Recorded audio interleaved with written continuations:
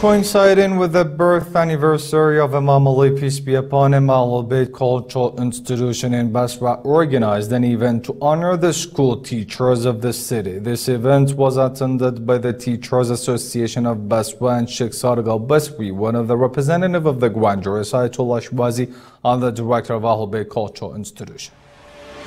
Ahlul Bayt Institution in Basra for cultural work and coincide with the birth anniversary of Imam Ali has organized a ceremony to honor hardworking teachers and school principals of Basra. This ceremony was held in northern part of this city. In this planned ceremony, teachers and school principals attended. Their efforts were appreciated and thanked for.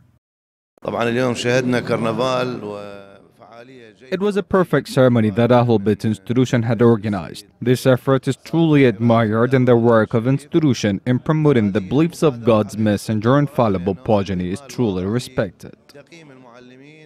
Outstanding teachers of Basra in this meeting were given appreciation gifts for their effort and hard work. Holding such a meeting is all due to the respect and at the value that the Grand Jurist Ayatollah Shirazi gives to education. This program was done by the hard work of Ahlul Bayt institution staff.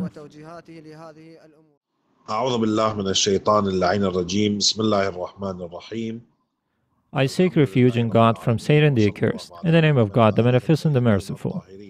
All praises are due to God, the Lord of the worlds, and His endless blessings be upon Prophet Muhammad and the infallible progeny of Prophet Muhammad.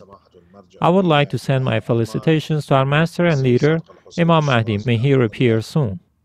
Also, I would like to felicitate our respected scholars and jurists, especially the respected authority, Grand Ayatollah Shirazi, on the auspicious occasion of the birth anniversary of Imam Ali, peace be upon him.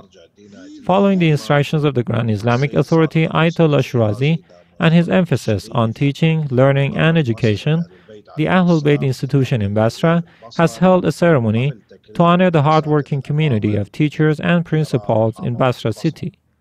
This ceremony coincided with the birth anniversary of Imam Ali, peace be upon him. In the beginning of this ceremony, few verses from the Holy Quran were recited. Afterwards, a word was delivered to the audience by me. I emphasize on the importance of raising well and knowledgeable and educated youth for our future. My words was based on the instructions of Imam Ali, peace be upon him. It is noteworthy that this honoring ceremony hosted wide range of school principals and teachers.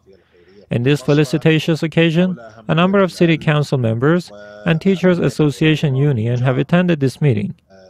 In the end, I would like to thank the branch staff of Rasul Adam Institution of Basra for their support. They are thanked. Also, I would like to thank all of those who contributed to the success of this blessed ceremony. I ask God the Great to help us in serving our community. We also pray to the Lord to help us in fulfilling our duty in serving the God's messenger and fallible family. Peace to all and thank you.